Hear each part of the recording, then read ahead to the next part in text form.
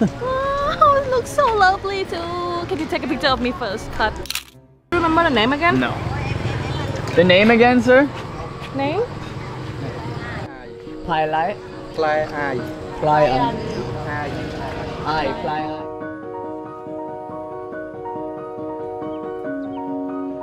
We've been traveling around Southeast Asia in the previous year, but somehow I feel as if we haven't completed it because we missed here, the magnificent Angkor Wat Temple in Siem Reap, which has become the national symbol of Cambodia. But Siem Reap is not only about coming here and going straight to Angkor Wat. Most tourists come here and stay a couple days, so here is what you can expect. You want me to actually ride you down the road? No, just take it out here. Just take it out on the main road. I'm not confident because of all the rocky terrains and all the dirt path terrains. I'm not quite confident, so you just take it out for me. hang on, hang on. Right here. Uh, because they have the rule that they don't allow any foreigners to ride a motorbike. So that's why we decide She's I'm gonna gonna be the drive. person who ride motorbike because I somehow look Cambodian. So hopefully we can get away with it. Uh, they just specifically don't want foreigners driving motorbikes because of the accident rate increasing in the past. So let's get on the road and get some food. Uh, I don't know if that's technically the right thing to do, but we're gonna tell you everything that we do and how we do it because we can't really get around by autos everywhere. So I make it, Jim!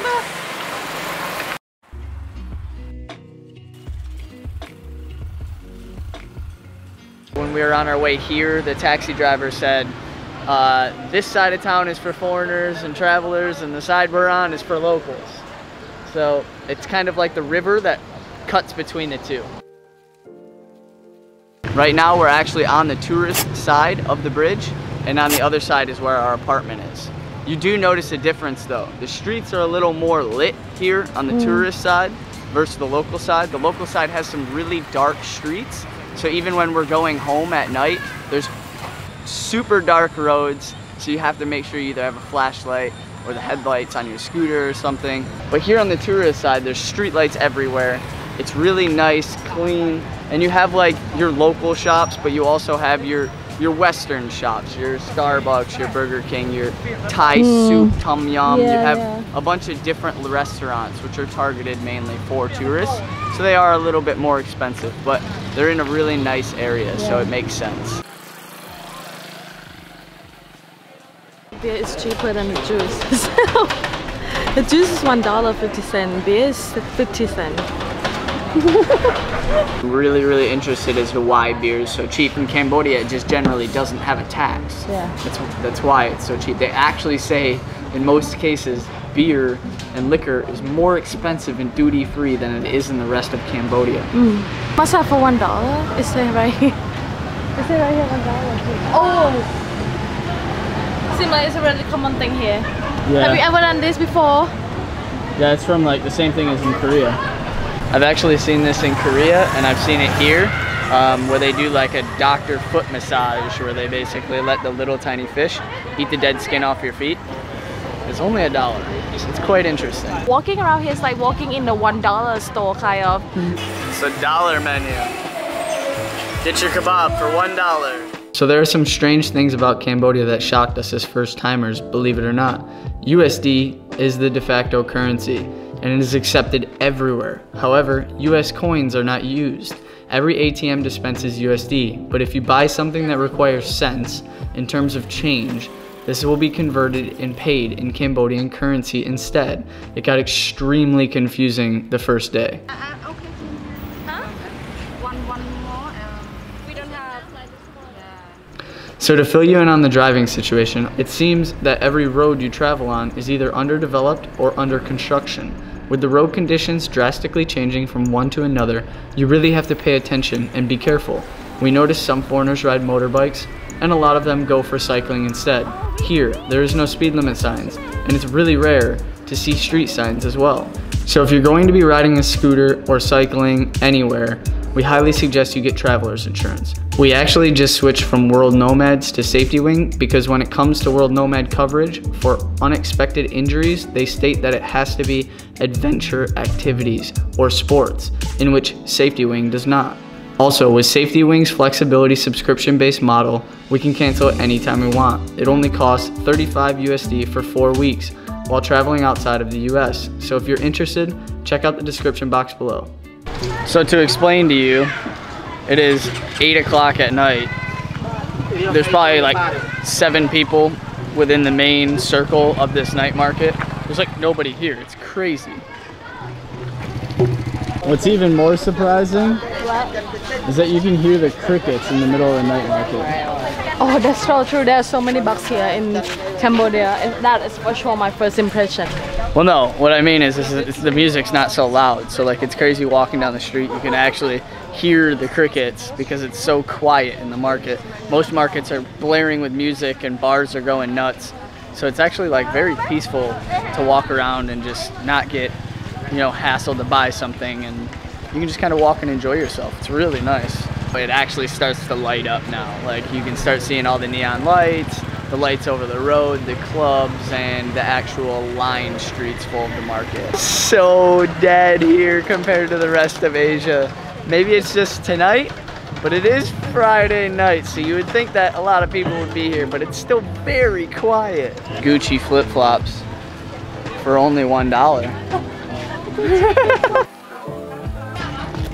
Louis Vuitton, Gucci, they have all your knockoff brands here all within the market. I expect food, but you can't have food here. It's Not all. yet. Not yet that we found. I think we come to the end. So there's the entrance to the market and we're literally just turn around. Boom, right here. Tara Kamir food. And it's just like a little little restaurant, little pop-up restaurant.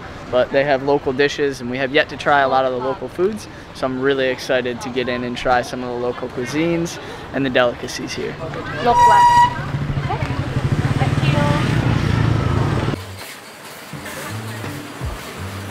And tonight, our taxi driver, thanks to Grab, told me that his favorite food was lok lak. So Look like. Lok lak is a fried beef.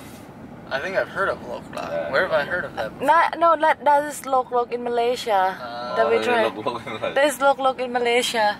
This one is Lok Lak. Too many loks. I'm going with the lok lak. And instead of getting steamed rice, I went with my happy place and I got fried potatoes, which are french fries.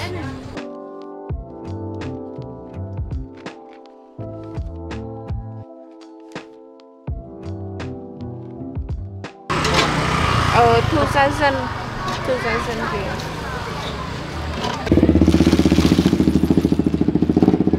What's? I have no idea. What's it called? What's the name? Name? Dumpling. Grampi? Yes, dumpling. Dumpling. Oh, I think it is. I think you're right, honey. Tapioca, eh? Coconut, eh? Yeah. It's pretty sticky, yeah? It's really sticky. Rice and sugar. Mm, rice. Just said rice. I have to come back and try that one next time, though. I'm full. I'm very full. The crispiness of the fresh coconut is phenomenal. It's on top of like a, a rice dumpling with like, it's got something on the inside, but it's very, very sweet. The rice dumpling has got like sugar. It's so phenomenal. It's very good sweet. Here, honey, try it. Oh, dude, that one looks so good and healthy. I have to come back and try that one next time. I know, I've heard you say that a hundred times really, in the really last five seconds. Oh, it looks so lovely too. Can you take a picture of me first? Cut. Oh! oh. Sugar. Palm The sugar. sugar. Palm, palm sugar. Because the second it pops, it just fills your mouth full of like sweet goodness. Ah. And that dessert is so good. Wait, do you remember the name again? No. The name again, sir? Name? Can just say it. What you call it? Uh, fly eye. Pie light. Fly eye. Fly eye. Eye. Eye. Fly eye. Yeah, yeah. Fly eye is what it's called. Fly and it is eye. so good. Cheap too. 2000.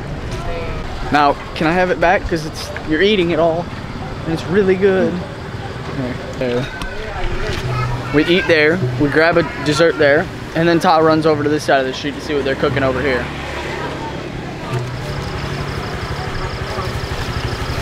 They have another dessert here.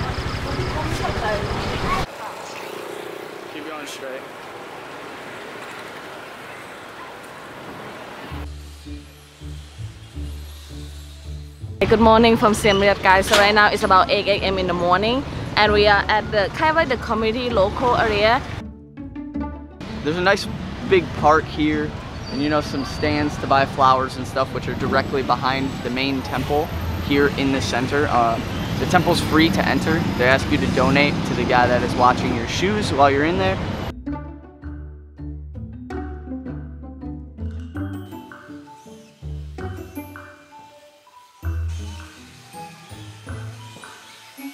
They're releasing the birds. I just missed it. I've never seen birds before. I've always seen them release fish, but yeah, here they are selling birds and they're releasing birds. It's really cool.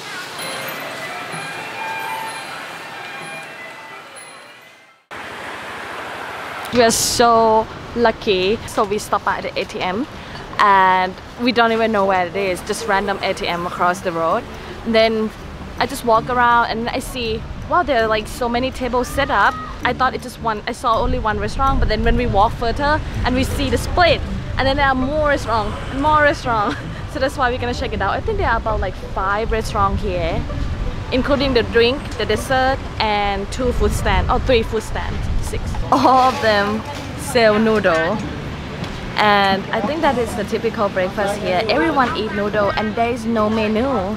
So you can't have the the option of like if you don't want noodle, there's something else to go for. No.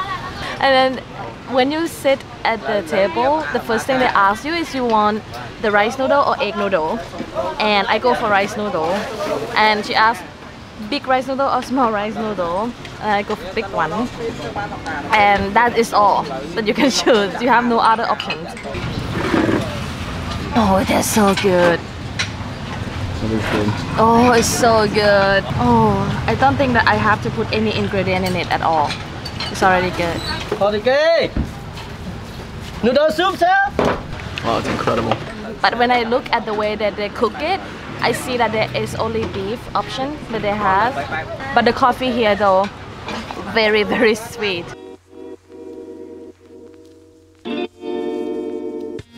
He's gonna be driving us around Cambodia. Raise it, breathe it. How you guys call this in Khmer in Cambodian? Đốc đưa. Đốc đưa. Đốc đưa. Đốc đưa. Nón máy. That is it. not infused it like uh, soak it. Soap. Yeah, Ah. soak it. Soak it through the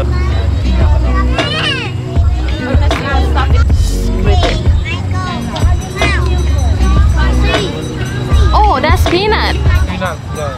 Oh, A lot of things.